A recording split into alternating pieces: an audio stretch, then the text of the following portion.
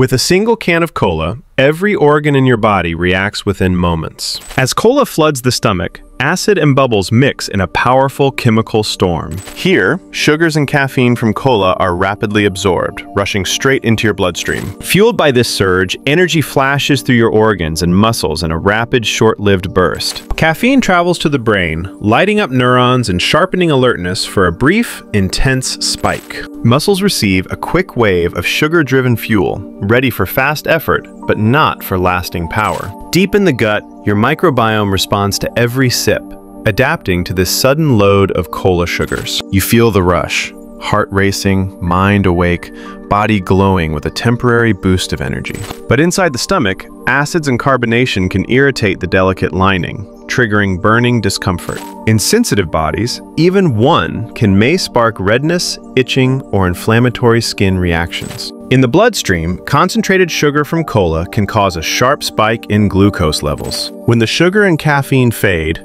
energy collapses, leaving the body heavy, tired, and drained.